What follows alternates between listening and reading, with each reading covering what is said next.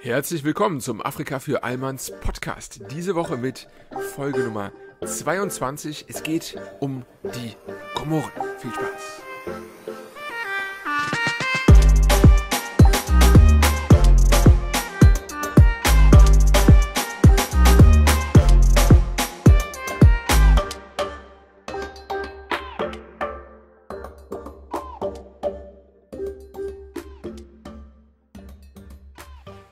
Willkommen in der Union der Komoren, einem Inselstaat zwischen Madagaskar und Mosambik im Indischen Ozean.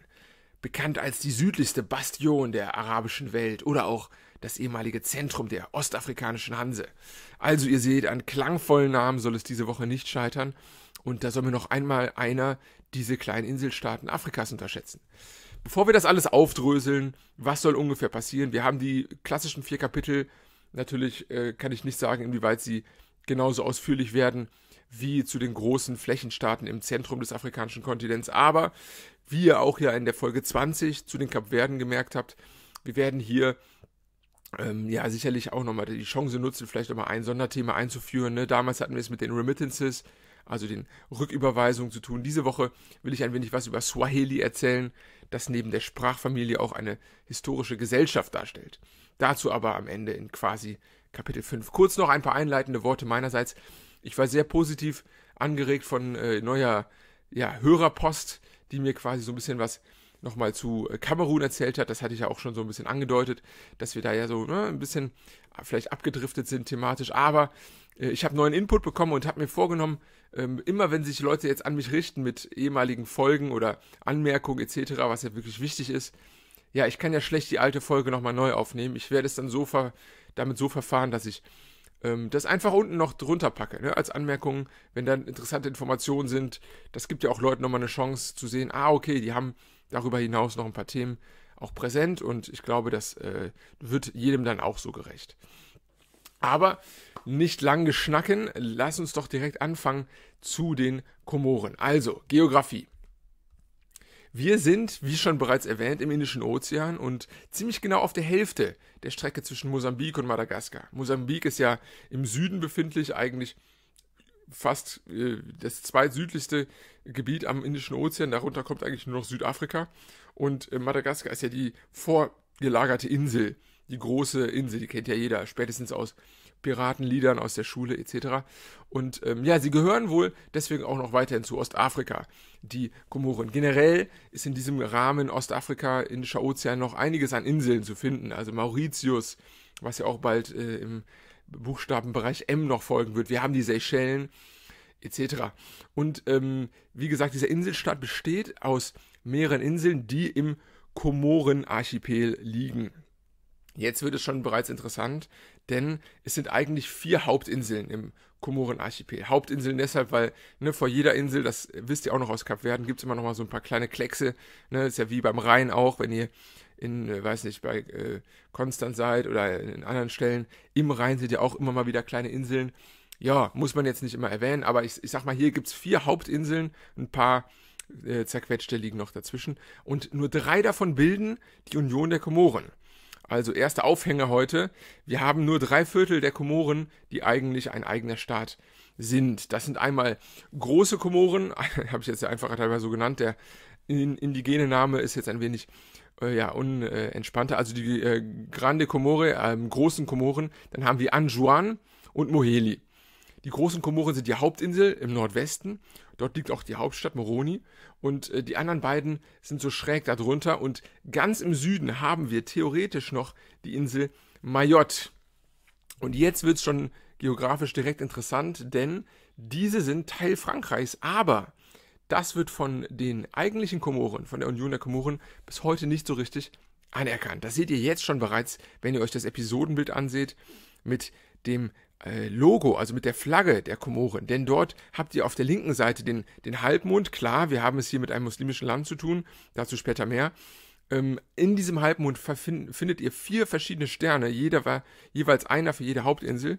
Und auch rechts bei den vierfärbigen Streifen gibt es vier verschiedene Farben, die für jedes dieser äh, ja, vier Inseln quasi eine Farbe reserviert haben. Und äh, da ist die Farbe weiß beispielsweise für Mayotte ähm, eingezeichnet. Und auch daran sieht man wieder, dass dieses Gebiet oder diese Gebietsabtrennung zu Frankreich alles andere als Common Sense ist in dieser, in dieser, in dieser Gegend und in dem Fall in dieser Union der Komoren. Also insgesamt ist es ein recht überschaubarer Staat. Wir haben um die 2200 ähm, Quadratkilometer und das ist ungefähr so groß, ja, wie zwei, ein bisschen mehr als zweimal Berlin. Mit 800.000 Einwohnern, Tendenz steigend, das ist eine recht äh, stark bevölkerte und äh, wachsende Zahl. Und wir haben auch interessanterweise einige geografische Merkmale, zum Beispiel einen ziemlich hohen Berg für so eine kleine Staatsfläche. Ne? Der höchste Berg ist äh, Katala, 2300 Meter. Also wirklich, ne, es ist eine Ansage. Und das ist ein ehemaliger Vulkan, der auch hin und wieder mal explodiert. Beim letzten Mal hat er einen See, der sich in dessen Krater befand, ne, also wirklich einen anständigen See, einfach mal ganz eben vaporisiert. Also ein wirklich interessantes ähm, ja, äh, Gebiet. Generell in diesen Komoren gibt es einige Vulkane und das sieht man auch so topografisch ganz schön.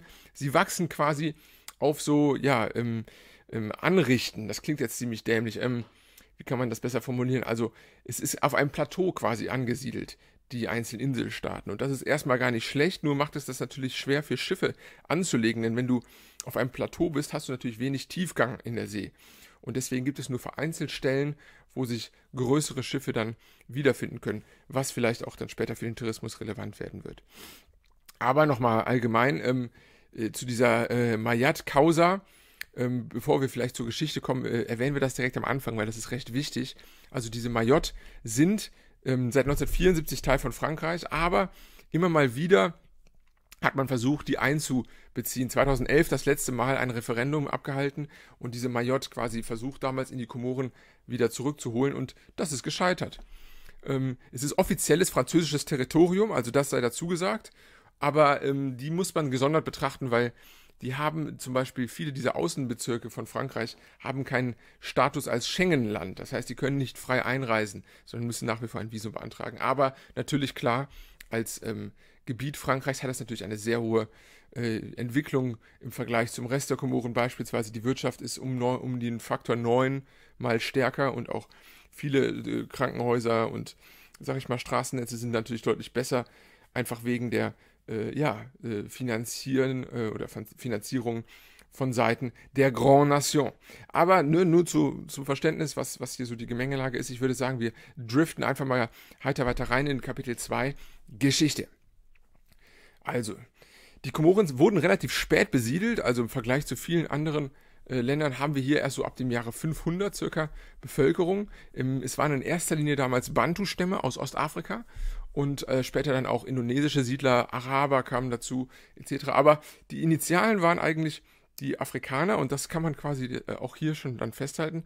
Es war vielleicht dann das erste von Afrika kolonialisierte Territorium, was ja nach heutigem Verständnis ein recht ungewöhnlicher Weg ist. Ne? Normalerweise äh, spricht man ja von Afrika als kolonialisiertem Gebiet und hier war es dann vielleicht andersrum. Gar nicht uninteressant. Auch hier waren, wie in boah, gefühlt jeder Afrika für Einmannsfolge fast, ähm, 1500 die ersten Europäer portugiesische Seefahrer. Sie haben äh, Grande Comore, also die größte Insel im Nordwesten mit der Hauptstadt, damals ähm, immer mal wieder gestriffen auf ihren Reisen Richtung Indischen Ozean, Richtung Indien etc. und wurden dann nach und nach hier sesshaft und später folgten dann auch zum Beispiel die Perser und gründeten ähm, zusätzliche Sultanate auf den Komoren. Also Araber waren zwar vorher da, aber durch die Perser kamen dann auch wirkliche Sultanate, diese Strukturen quasi. Und ähm, ja, die äh, Komoren waren immer schon Teil der Swahili-Kultur und ähm, wurden dominiert von arabischen und persischen Familien. Aber zum Swahili-Teil will ich später ein bisschen was genaueres sagen. Wenn wir uns weiter die Geschichte der Komoren als solches ansehen, dann ist äh, das Jahr 1841 recht wichtig, denn nach und nach wurde Frankreich immer stärker und ab 1841 wurde zunächst die Insel Mayotte bereits Protektorat Frankreichs. Das heißt, der Sonderweg Mayotte hat sich damals schon ein wenig abgezeichnet. Ne? Ähm, es wurde aber da auch durchaus Positives bewirkt. Also Seiten Frankreichs, sie haben äh, zum Beispiel den Sklavenhandel verboten ähm, und auch, naja, die Sultanate zumindest toleriert, also für Frieden dort ähm, weiter gesorgt. Aber es stand alles natürlich unter französischem Schutz und äh, war deswegen quasi auch ein wenig unabhängiger. 1878 Entschuldigung, 1887, also quasi 36 Jahre später erst kamen die anderen Inseln zum französischen Protektorat dazu, also Moheli, Grande Comore und Anjouan. Das heißt, damals war schon eine längere Zeit quasi äh, der Status zwischen diesen Inseln nicht ganz klar und ja auch heute, wenn ihr euch ans Intro äh, zurückerinnert, ist es ja auch nicht ganz klar, was mit äh, den Mayotte aus Sicht der Komoren passieren soll. 1912 das erste, ähm, das nächste große Datum war dann die Eingliederung der Komoren in das Teil der, ähm, des Großgouverneurs von Madagaskar. Also die Franzosen haben ja immer nur bei ihren riesigen Anzahlen und unterschiedlichen Gebieten an Territorien ähm, an, an, bestimmten Orten äh, administrative Einheiten äh, installiert und hier halt in Madagaskar, was dann quasi auch verantwortlich war für die Komoren und deswegen unterstanden sie ab nun Antananarivo, der Hauptstadt Madagaskars. Trotz dem Verbot von Sklavenhandel, das habe ich eben mal so als positiv erwähnt, äh, das war natürlich nur relativ, denn die Ausbeutung fand natürlich weiter statt. Plantagen wurden errichtet, große französische Plantagen von Großgrundbesitzern Frankreichs. Und hier wurde dann zu ja, unbarmherzigen Bedingungen Kakao, Kaffee oder auch Gewürze angebaut. Und wenn überhaupt, gab es dafür nur Hungerlöhne.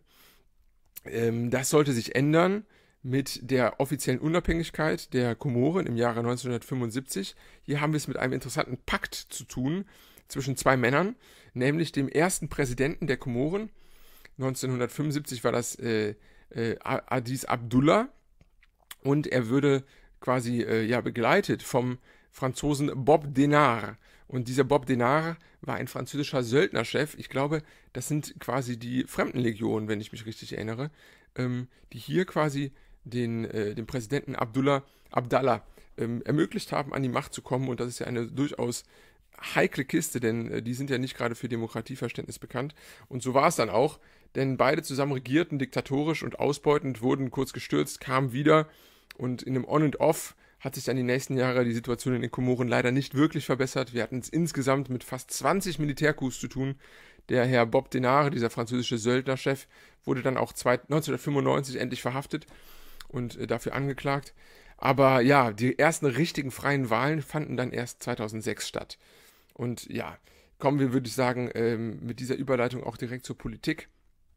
Denn ich habe hier mal einfach so eine, eine, Reihe an Punkten aufgelistet. Das ist jetzt nicht ganz so der rote Faden vielleicht, aber das ähm, würde ich sagen, macht nichts. Wir gehen das einfach mal durch. Also wir haben politisch gesehen einen Islam, der sehr dominierend ist in den Komoren. 99% der Bevölkerung von diesen 800.000 Menschen sind vom, Sunni vom Sunnitentum geprägte Muslime, also Sunniten.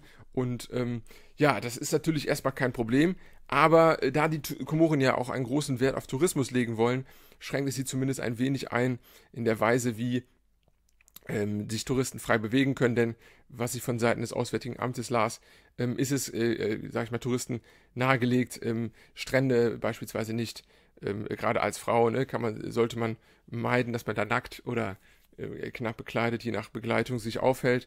Während des Ramadans ist es generell sehr schwierig, auch mit dem auswärtigen Essen etc. Und äh, das ist einfach noch nur äh, natürlich ein größerer Faktor, als wenn man jetzt irgendwie Urlaub macht. Oder was heißt Urlaub? Aber wenn man jetzt mal den Iran bereist oder Pakistan oder sonstige muslimisch dominierende Länder, da gibt es natürlich weniger Tourismus, ähm, der sich jetzt auf den Strand bezieht. Bei so einem kleinen Inselstaat unterstelle ich mal, dass da die hauptsächliche Zeit dann auch im Strand oder ähm, zumindest in der Nähe des Strandes stattfindet. Und das einfach nur so als kleine Anmerkung zur, zur politischen Situation. Es ist sehr stark dominiert. Man sieht zwar nicht so viele Kopftücher und ähm, die äh, Interpretation des Islam ist einfach aufgrund der langen Geschichte ähm, auf den Komoren eine sehr eigenständige, aber trotzdem ist es noch vom, vom Glaubenssystem, glaube ich, recht stark verankert.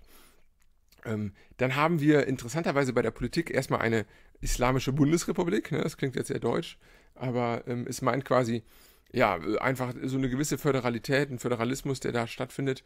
Nur der hat sich jetzt geändert. Denn wir hatten bis 2018 eigentlich immer den Fall, dass diese drei Inseln der Komoren, also Grande Comore, ähm, Al, Al, jetzt, jetzt bin ich schon hier am Rumeiern, äh, Grande Comore, ähm, Ajuet, Anjuan, Entschuldigung, das war's. Grande Comore, Anjuan und Moheli, dass diese drei immer abwechselnd den Präsidenten gestellt haben.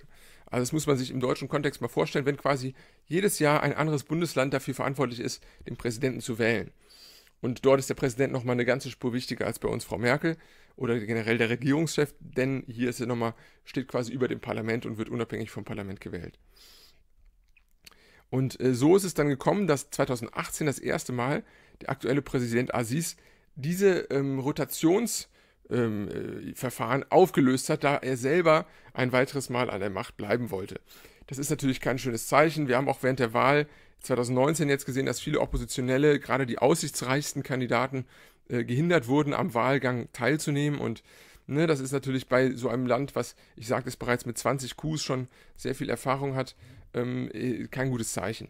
Es gibt eine ganz große zerstückelte Landschaft an Kleinparteien, von denen sich dann immer wieder welche zusammentun, aber so ein richtiges, ähm, ja, ähm, Repräsentieren von äh, Minderheiten kann nicht stattfinden. Da war dieses Rotationsprinzip doch eigentlich ganz gut, denn da hat man gerade den zwei kleineren Inseln und vor allem auch Moheli, die ja wirklich ähm, sehr wenig entwickelt sind, ähm, die Möglichkeit gegeben, auch äh, nochmal politisch zu partizipieren. Ne? Das ist eine interessante Form von Föderalismus und finde ich auch gar nicht schlecht für kleinere Staaten generell, wo ja keine wirklich lokalen Strukturen entstehen können. Ne? Also die NRW-Regierung beispielsweise ist ja wirklich auf Augenhöhe mit Belgien beispielsweise in vielen Belangen. Und äh, in kleinen Staaten ist es aber nicht möglich. Da sind einfach die Strukturen nicht da und auch nicht die Relevanz für kleinere Teile von noch kleineren äh, Staaten. Und da ist auch so ein Rotationsprinzip vielleicht gar nicht schlecht. Was haltet ihr denn davon? Für alle politisch Interessierten, ihr könnt euch ja gerne mal melden, ob dieser Idee. Ja, ähm, weitere politische Aspekte, ich sagte es bereits, ähm, ungefähr nur ein Prozent der Haushaltsausgaben gehen in die Gesundheit. Es ist sehr schade und äh, zeugt natürlich auch davon, dass es noch ein wenig mangelt am Interesse für, die, für, die, für das Wohlergehen der Bevölkerung von Staaten, von Seite des Staates. Wir haben auch recht niedrige Alphabetisierungsraten. Bei den Männern um die 56 Prozent, Frauen leider nur 43 Prozent.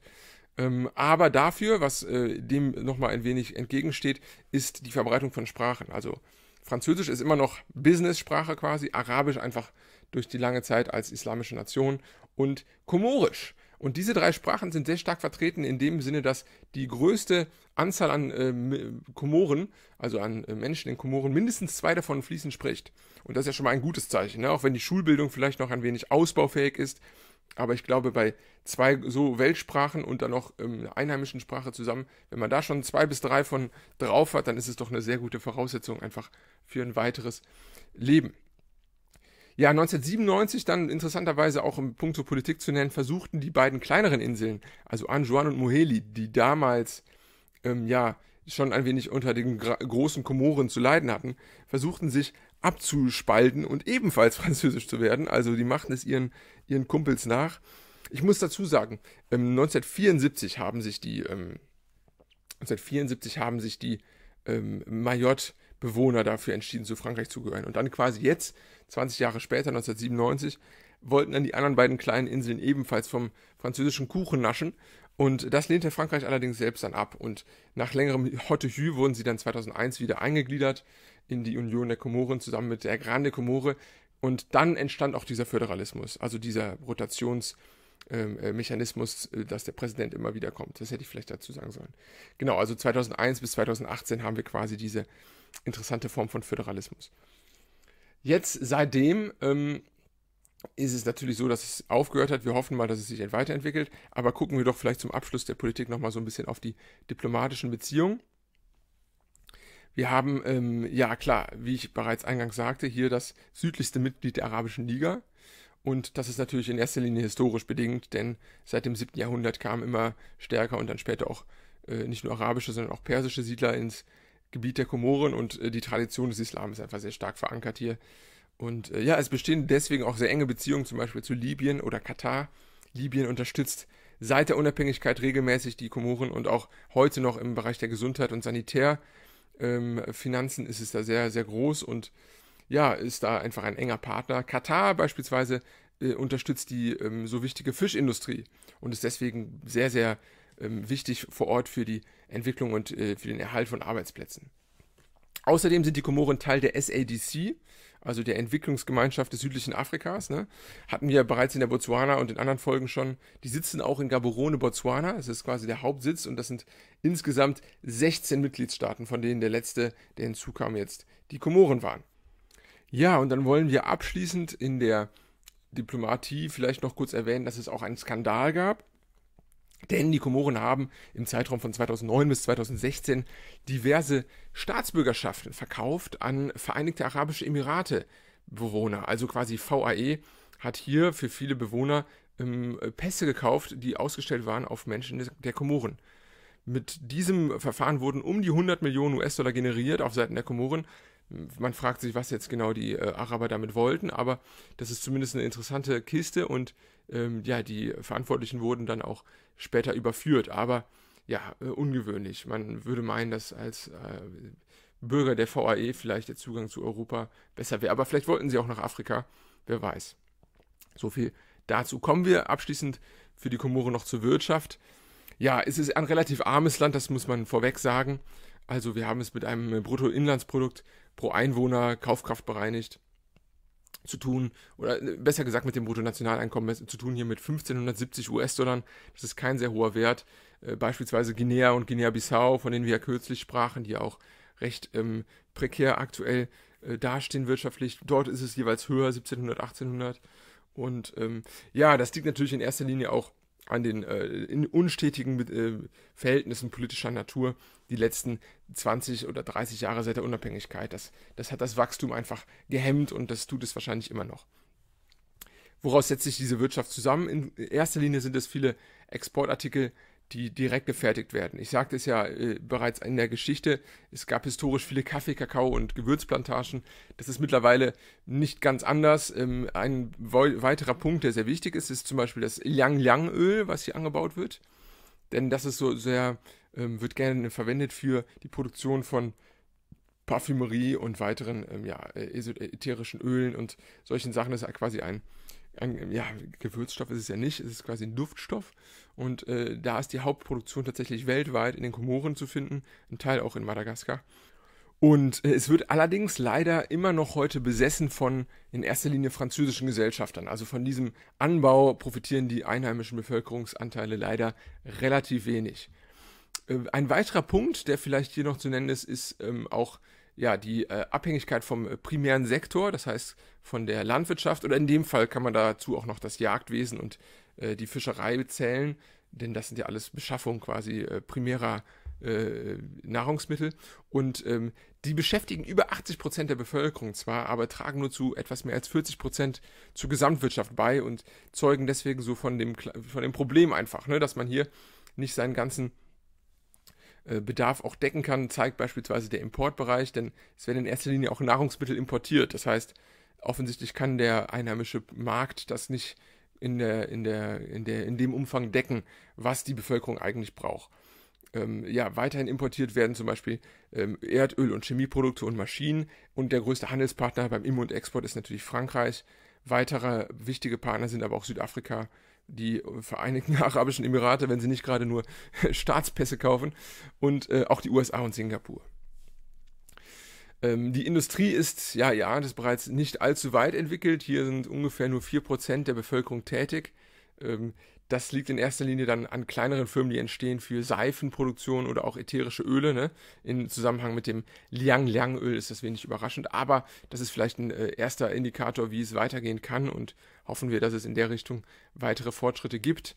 Die UN hat äh, die Komoren eingestuft als eines der least developed countries in der Welt. Das sind um die 47 Staaten, Großteil davon im Subsaharan-Afrika. Und ähm, das ist natürlich schade und das ist deswegen auch wenig überraschend, dass die Komoren auch abhängig sind vom Ausland in vielen Punkten, sei es durch die Finanzspritzen oder auch Entwicklungsgelder. Ähm, hier ist sehr, sehr viel ähm, ja, Budgetanteil des Haushaltes, der erzeugt wird durch aus der äh, externe Geldgeber. So, ähm, vielleicht so viel zur Wirtschaft und zur Situation in den Komoren. Eine ähm, weitere Sache, die ich mir gedacht habe, die wir noch dazu packen können, ist die Swahili-Gesellschaft, Kapitel 5. Also, Swahili versteht man ja allgemein als eine Sprachfamilie, ne? Und so gibt es auch heute eine ganze Reihe an Ländern im Osten Afrikas, die Swahili sprechen oder äh, Kiswahili, äh, verschiedene Varianten, die verbreitet sind. Aber was oftmals vergessen wird, ist, dass es eigentlich damals, ähm, noch vor der europäischen Kolonialzeit, hier eine wirklich florierende Anzahl an unabhängigen Städten gab die man auch heute als Swahili-Gesellschaft oder die Stadtstaaten äh, der Swahili versteht. Denn Swahili kommt aus dem Arabischen und heißt so viel wie Küstenregion. Gut, dass ich sage, weil das trifft auch auf die Komoren zu. Auch das Wort Komode kommt aus dem Arabischen. Denn ähm, ja, man kann es vielleicht übersetzen mit äh, Jusur al-Kamar und das heißt so viel wie Mondinseln. Das heißt, ihr seht hier auch in beiden Punkten ist äh, das Arabische sehr wichtig gewesen. Einmal für den Namen Swahili, aber auch für den Namen Komore oder Kamar, wo es sich herleiten lässt. Und ähm, hier war es jetzt so, dass interessanterweise ähm, historisch gewachsen verschiedene Städte an der Küste der, äh, der von, vom Osten Afrika entstanden sind, die ähm, eine ähnliche Kultur teilten. Also ich kann ja mal vielleicht einfach mal kurz durchgehen. Wir haben es in erster Linie mit einem 1500 Kilometer langen Küstenstreifen zu tun, der oben im Norden, also die, der Hauptbereich der Swahili-Gesellschaft war quasi zwischen Mogadischu im Norden, das ist Somalia, das ist schon kurz vor dem Knick, den quasi äh, Ostafrika da nimmt, äh, auf Höhe äh, der arabischen äh, Halbinsel und äh, ab dort runter in den Süden bis zu Kilwa. Kilwa liegt auf Höhe Tansanias, äh, kurz vor kurz vor Mosambik und dort ist dann quasi auch nach Osten hin die ähm, Inselgruppe der Komoren zu finden. Und da war Komoren ein großer Bestandteil, sogar mit zwei unabhängigen Städten, die da von äh, Teil dieser Swahili-Gesellschaft waren. Also Komoren hatten die Moroni-Hafenstadt äh, damals schon und ähm, Domoni, ähm, eine weitere Hafenstadt damals. Und ich sagte es ja bereits eingangs, topografisch ist es nicht so leicht, von hier aus Handel zu treiben. Also man muss die Stellen, die man hat, die quasi direkt tiefen Seegang erlauben für Schiffe, die anlegen, die muss man natürlich nutzen. Was waren denn diese Gemeinsamkeiten zwischen diesen ganzen Ländern? Denn in diesem Bereich liegen ja Tansania, Kenia, äh, Uganda, Mosambik, Sansibar, Komoren. Ähm, das sind natürlich viele, viele ähm, damals schon, ähm, ja, zumindest organisierte Gebiete und äh, diese hatten äh, nicht nur den gemeinsamen Handel zwischeneinander, sei es durch Gold, durch Elfenbein und andere Güter, sondern hatten auch eine ähnliche Kultur, denn Sie waren in vieler Weise geprägt vom äh, Islam damals schon, in erster Linie durch Araber, aber später auch durch Perser. Und das hatte auch einen Einfluss auf ihre Kultur und Religion. Und sie hatten natürlich eine gemeinsame Handelssprache, das war Swahili, die sich äh, historisch durchsetzte, die natürlich noch viel weiter zurückgeht, vor Christi Geburt schon ähm, äh, in, äh, in, ersten Zügen. Aber das war quasi so diese, ähm, äh, diese Verbindung zwischen den Staaten. Und sie waren alle selbst unabhängig. Das heißt, sie trieben zwar Handel und waren in, der, in stetigem Kontakt durch die Schiffe, aber sie waren unabhängig. Denn keiner von ihnen hatte quasi eine ähnliche politische Einheit wie der andere. Das kam dann erst durch den Einmarsch der Portugiesen ab dem 16. Jahrhundert, die dann in jedem dieser Städte versuchten, so ein wenig top-down ihr System aufzuoktroyieren. Und ähm, ja, interessanterweise ist es so, dass das äh, einzige Vehikel, wie man diese Städte damals verband, war die, ähm, ja, die, die Straßen, äh, die, die Seestraßen. Denn die normalen Straßen, das Festland, wenn man sich auch mal anguckt, äh, wie es äh, da ausgebaut ist, an der Küste entlang, seit von Mogadischu runter bis äh, in die Komoren, das war sehr unergiebig und ne, sehr hart, da irgendwie mit Straßen und ähm, Fahrzeugen entlang zu fahren. Und da war wirklich die Verbindung zwischen diesen ganzen Stadtstaaten durch die Schiffe der beste und der gewünschteste Weg, Handel und äh, Bevölkerung auszutauschen. Und so entstanden wirklich so kleine Metropolen, der äh, äh, auch ähnliche Architektur ähm, zu eigen war und viele, viel Austausch auch an Bevölkerung und viel, viel äh, reges Treiben und reger Handel. Und ähm, was nochmal noch mal deutlich interessanter wird, das Verständnis dieser ähm, Swahili-Gesellschaft hat sich auch nochmal gewandelt in den letzten 30 Jahren circa. Ähm, also bis 1990 hat man ähm, noch um, immer angenommen, dass dies dominiert war durch Araber und dass das quasi eine Hochkultur der Araber war, die sich, ähm, ja, es gab ja auch eine arabische Sklavenroute, äh, auch im ostafrikanischen Teil wurde ja viel ähm, an Sklaven äh, gehandelt, auch ohne europäische Beteiligung. Aber hier hat man lange angenommen, dass diese, ähm, ja, diese 600 Jahre von 900 bis 1500 der Swahili-Gesellschaft, dass die in erster Linie durch Araber initiiert worden waren, die ja emigriert sind aus Arabien Richtung südliches und östliches Afrika ähnlich wie auch im Maghreb. Ne? Dort haben wir ab dem 11. Jahrhundert ganz viele Araber, die quasi äh, Nordafrika besiedelt haben und heute auch dominieren. Und so nahm man damals auch an, dass diese in diesen Bereiche übergesiedelt sind und diesen dominiert haben. Aber die moderne Geschichtsschreibung und das die moderne Afrika-Verständnis, die Afrika-Forschung geht davon aus, dass dies in erster Linie, in erster Linie afrikanische Kulturen waren, die allerdings äh, arabischen Einfluss hatten. Das heißt, äh, die Mehrheitsbevölkerung in allen diesen Stadtstaaten war schwarzafrikanisch und dementsprechend kann man hier auch durchaus von ausgehen, dass äh, dass sich eine, eine interessante äh, Handelskultur, also eine Wirtschaftskultur auch entwickelt hat, unabhängig von externen Faktoren oder zumindest initiiert durch lokale Kräfte. Nicht ganz unabhängig, wahrscheinlich hatten Araber auch alleine schon durch die Sprache und, sag ich mal, den gemeinsamen Glauben einen gewissen Einfluss darauf. Ja, und diese ähm, äh, Stadtstaaten hatten dann auch lange Zeit ähm, durch ihre guten Kontakte ins Landesinnere Afrikas, dort kamen quasi die Waren an die Küste und wurden dann vertrieben und gehandelt zwischeneinander, aber auch nach ähm, Asien. So waren beispielsweise in diesen Stadtstaaten überall punktuell auch Chinesen, Inder, Perser äh, vorhanden, die eine kleine Diaspora bildeten und ähm, ja, diese fl äh, florierenden Handelsbeziehungen dann ähm, weiterführten. Und das ist ja auch so ein Indikator, ne? wenn dort diese Minoritäten wohnen, dass der Austausch sehr, äh, sehr groß sein muss mit, mit China oder äh, dem Persischen Reich oder, oder auch Indien. Ne? Also das so mal als kleiner Ausblick, was man alles auch in Afrika finden kann, wenn man sich ein bisschen tiefer und äh, näher damit beschäftigt. Ich würde da auch gerne nochmal ausführlicher ein bisschen was zu machen, aber äh, das einfach mal so als kleiner, kleiner äh, Disclaimer. Die Hanse hatte ja ähnliche, ähm, ja, sag ich mal, Vorzüge und Gemeinsamkeiten in, im, in der Ostsee im Norden Deutschlands. Und deswegen dachte ich mir, passt auch diese Bezeichnung, die ostafrikanische Hanse, hier ganz gut. Und gerade Komoren war da ein Bestandteil, denn es ging bis nach Madagaskar teilweise auch rüber. Und der Handel wurde dann ja ins Indische Meer hineingetrieben. Und da waren die Komoren ein super Stützpunkt und haben davon viel profitiert. Ich hoffe, ihr konntet viel mitnehmen. Wenn ihr Anmerkungen habt, ich sagte es bereits immer her damit auch zu vergangenen Folgen. Ich freue mich über jeden Informationsgewinn. Wenn ihr was denkt, was wichtig ist, was man noch dazu sagen könnte, schreibt mir, ich packe es mit in die Episoden rein und ähm, ja, freue mich über jeden, der neu dazukommt und uns als, ähm, ja, als Community bereichern kann. Also in diesem Sinne, macht es gut, habt ein schönes Wochenende und wir hören uns nächste Woche wieder mit der DRC, der Demokratischen Republik Kongo. Macht es gut, Freunde.